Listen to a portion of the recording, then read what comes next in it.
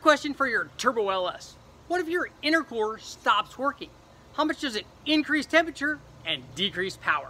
In this video, we're going to take a look at the effect of intercooler efficiency on a Turbo LS. Although we can extrapolate this to any turbo or supercharged combination. Now here's the way that I did it. We have a turbo LS and not just any turbo LS. It was a very cool one. It was kind of a short stroke, big bore turbo combination. And I've used it before previously in another video, so I'll go over all of those specs in just a minute. But here's what happened. We were running a turbo LS with an air to water intercooler. All I did was eliminate the water flow through the intercooler core raise the charge temperature, and decrease the power. It's a very simple test. And you might be thinking, Richard, that's oddly specific. What am I going to learn about intercooler efficiency from this test other than what happened on this application?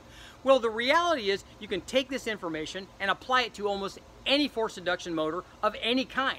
If you look at an air-to-air -air or an air-to-water system, on an air-to-air -air system, we can reduce the efficiency by having less airflow. And that means if we have something in front of the air-to-air -air core, reduce the airflow, we reduce efficiency. If we have something behind the air-to-air -air intercooler, also reduce airflow, reduce efficiency. Maybe the tubing is too small, maybe the end tanks are wrong. A lot of things can reduce the efficiency of an air-to-air -air core and you'll make less power.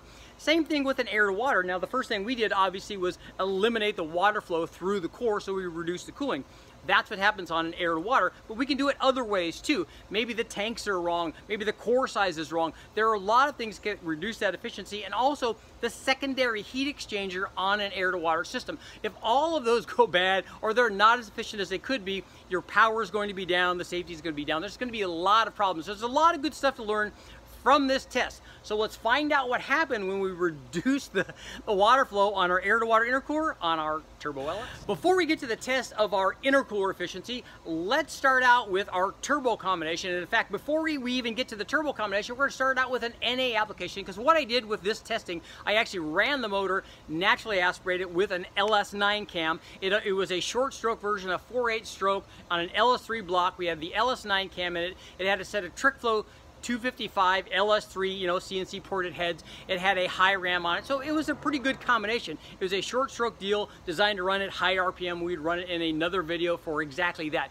In this combination, we had a milder cam in it, the factory LS9 cam, and we're gonna talk a little bit about when I go over the results of this test, why you could get away with that LS9 cam. It would be cheap, it's effective, you could make a ton of power. It's only limited by how much turbo you have. But we're gonna get into all of that. So we're gonna start off NA with an LS9 cam. Then we're gonna make some upgrades. I'll show you how much power we made when we put the turbo on, how much power we made when we did a cam upgrade. Then we can get to the intercooler.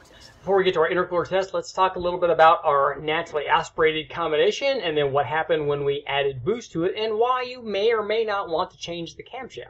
So this combination, as I said, was an LS3 block with a 4.8 liter crank. It had Lunati rods in it, 6.3 inch rods, and custom pistons. We had Trick Flow 255, the CNC ported rec port heads, and a Holley high ram.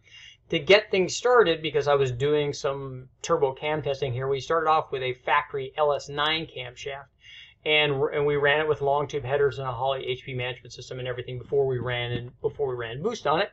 Because what I wanted to do is demonstrate how much power you could gain with a stage 2 type turbo cam over the factory LS9 cam. But we'll be able to talk about the results because it's kind of cool.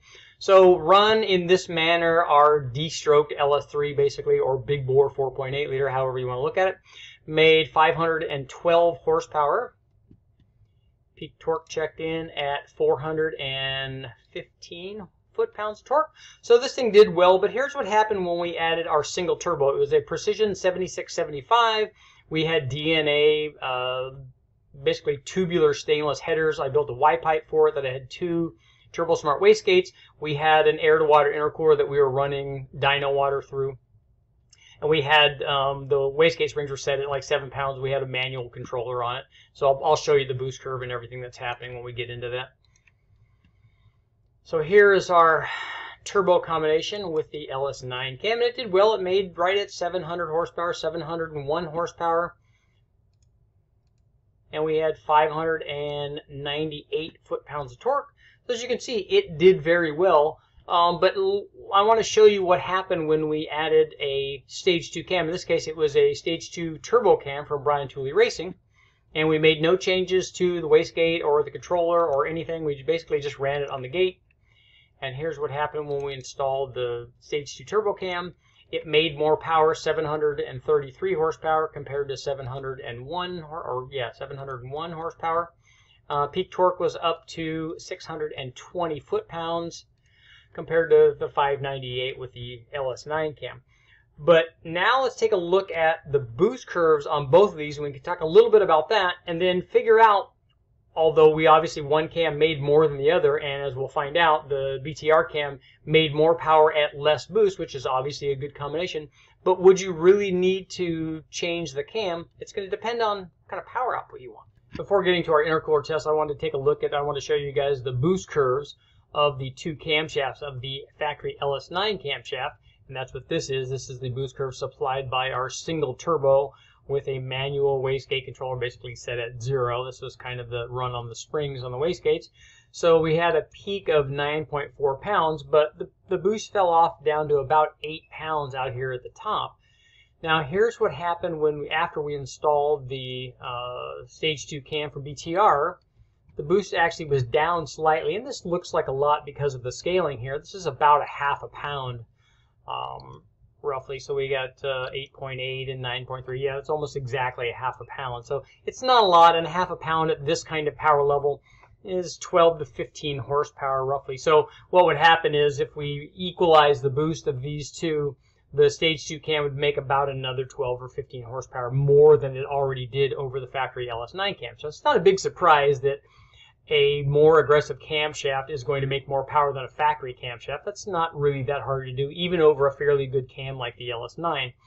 The question is, do you would you need to do the upgrade? That's what I want you guys to comment on. Do, do you think you really need more power from that camshaft? And let me clarify that. Let's say that you have an S475 or an S480 turbo um, or a 7875 Gen 2 from from Byron or something like that that's about a thousand horsepower turbo you can get to a thousand horsepower with either one of these camshafts. It will it will do it at less boost, at a lower boost level with this stage two turbo cam from Brian Tooley Racing, and it's a good cam, and we've used it a lot, and it works well. But you can also get there with the LS9 cam. So if you have one, and guys, since guys are selling those things fairly cheap, even a new one is fairly cheap, but the used ones are even cheaper. You can make all of the power that you want. Although the LS9, in my opinion, is not ideal because it's it is a, it is soft down low it has a really wide LSA and it's going to make less power than other cams down low, but you could make a thousand horsepower with the LS9 cam without any problem on a 5.3, probably even a 4.8. It would just do it at a little bit higher RPM, but you could do that easily with any kind of LS and the right turbo. So that begs the question, do you need to upgrade to a different camshaft that we know will make more power, not just a stage 2 turbo cam, but a stage two or stage one or any other cam that we know is going to make more power than a factory one, you can make more power at any given boost level. But if you get to the limit of the turbo and you can get there with a cam that's less money, how many of you guys would rather just do that? you know, because the difference in, in uh, power here between the two cams can be cured with another pound or a pound and a half of boost. And it's really easy to adjust the boost level, and it's a lot harder to and a lot more expensive to put a camshaft in. So let me know in the comments what do you guys think about that? Which way would you go if you knew that you were gonna you, that all you wanted to do was top out your turbo and you could get it with a less expensive cam? Which way would you go? Now let's take a look at our intercooler test. After covering the NA combination and then our turbo upgrade and then our turbo camshaft upgrade, we can finally get to our intercooler test. So here we are with our turbo combination with the single air to water intercooler. It's a three and a half in, three and a half out from CX Racing. It has a it has two fittings basically an in and an out for the water. They're both three quarter pipe basically not ideal. I would like to make them bigger. We could get even more flow rate through them, but this is the way the intercooler came, so this is the way we tested it. We were running about 82 or 83 degree uh, dyno water through the core, and it worked very well. And, and we've used it a lot in this configuration. And the only way, the only time we adjust it is when we run ice water through it. But we did not do that in this test. This was just dyno water. So we have our combination making 733 horsepower and 606 foot-pounds of torque with our single turbo, and this is with water flowing through the core. And we're going to go over the changes in boost and the changes in temperature after we take a look at the power gains.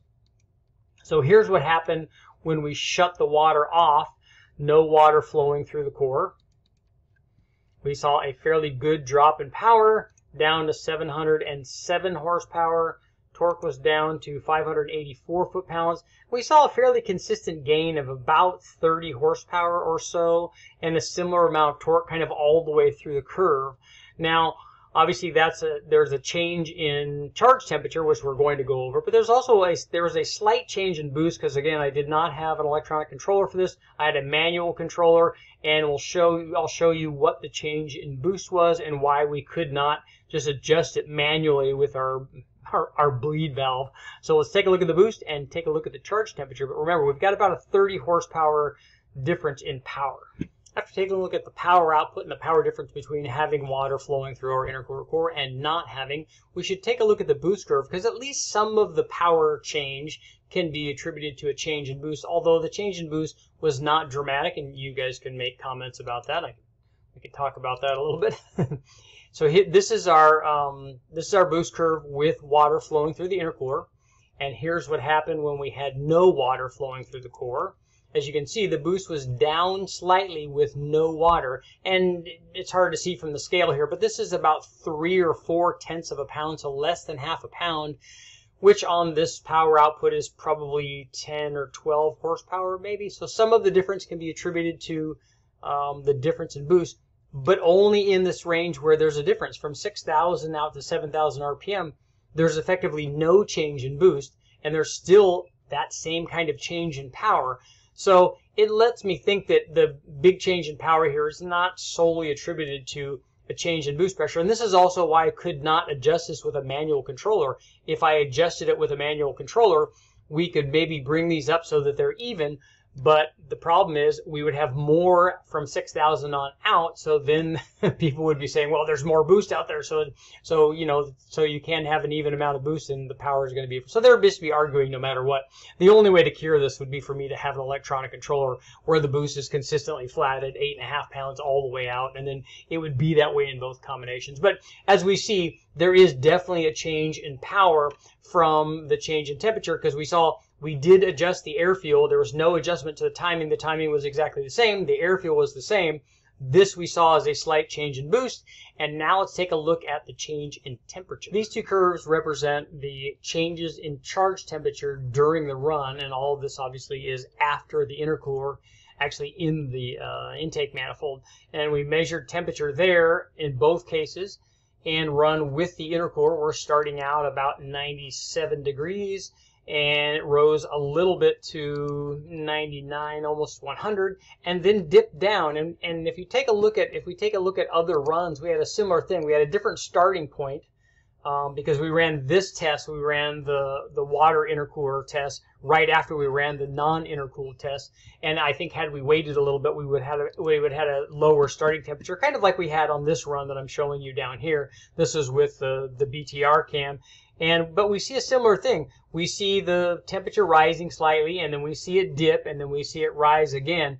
Now, if we look up here on the run in the green with the run made without water flowing through the core, we see a um, slow rise and then a more dramatic rise starting at about 5700 RPM, despite the fact, and this is interesting, that we're seeing a rise in temperature, despite the fact that we saw a drop in boost pressure, which obviously the temperature goes up with boost, but as the boost is going down, we shouldn't see a rise in temperature but we will. Some of that is the response rate of the Type K thermocouple that we're using. This run represents about 10 or 11 seconds worth of running um, if you don't count the load in and the load off of the dyno. Um, the, the run itself is about 11 seconds. But um, we definitely would see a rise in temperature. And if we and the thing is, this was one run. If we made successive runs, like if we were to make another run right after that, we would have an even higher starting point and an even higher finishing point um, up to the point where we got to a saturation level where we just weren't, weren't going to have any more temperature. But having an intercooler obviously is good. Uh, not having one obviously is not good. And in this case, we had an intercooler and there was residual water in there. We didn't eliminate all of the water in there. So it, it, it was doing some cooling. Um, if we were to run this without an intercooler, we would have an even higher, higher levels of temperature. But it shows that even not having, you know, having a less efficient intercooler, even though you have one, is still not good. And it's worth power if you have everything functioning right. Not only that, and something that doesn't show in this test because we had good fuel running in this thing and we weren't going to hurt it, but you've changed the safety level, you've changed the detonation threshold, you've changed a lot of things by not by having an elevated charge temperature, in this case of about 35 or 40 degrees, depending on where you measure it. So that's a big change. Big change in power, big change in safety. The takeaway, always run an intercooler. Okay guys, what do you think about the results of our intercooler test on our turbocharged LS combination? First of all, I like all of the testing here. I like that we started out NA. I like the discussion about using the LS9 cam because any cam is a turbo cam and if you have any kind of camshaft other than a stock LM7 or LR4 cam, any cam that you put in there will usually allow you to get to the limit of some kind of turbo. So you can get away with a cheap cam. You don't even have to have a dedicated turbo cam or a more expensive cam you can get to where you need to go if you put a 1,000 horsepower turbo on it. You have a good cam. You don't need this short stroke, really expensive LS3 headed thing. You could do it on a 5.3 or a 4.8 with an LS9 cam, put a 1,000 horsepower turbo, and you have a 1,000 horsepower. So that's a very easy way to do it. We didn't need to do the cam upgrade, although the flip side of that is if you want to make power, you put a camshaft in it that makes more power NA, it will also make more power under boost. So if I only want to run 10 pounds of boost and I want to make as much power as I can at that 10 pounds of boost, having a good cam it and not the factory LS9 cam is a good way to go. But ultimately that decision is yours. On the intercooler test, obviously higher charge temperatures are bad, less power is bad, more safety is definitely good always run an intercooler and make sure that you do everything that you can to make the intercooler as efficient as possible. I'm Richard Holdener, make sure to like, share, subscribe, ring the bell, do all that stuff, and I'll keep testing.